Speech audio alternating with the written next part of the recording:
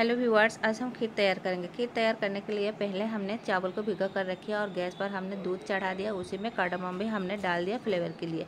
तो भिगा कर रखे हुए चावल को हमने पानी ड्रेन कर ले लिया, वही चावल हम इसमें डाल रही हूँ दूध में।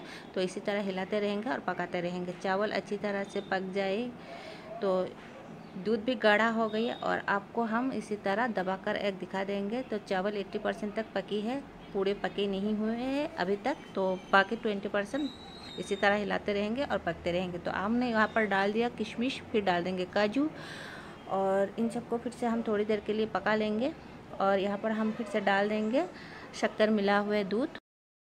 शक्कर और दूध को हम पहले से उबाल कर रखी थी तो इसी तरह फिर से थोड़ी देर के लिए पका लेंगे। हमारी खीर बन के तैयार हो गई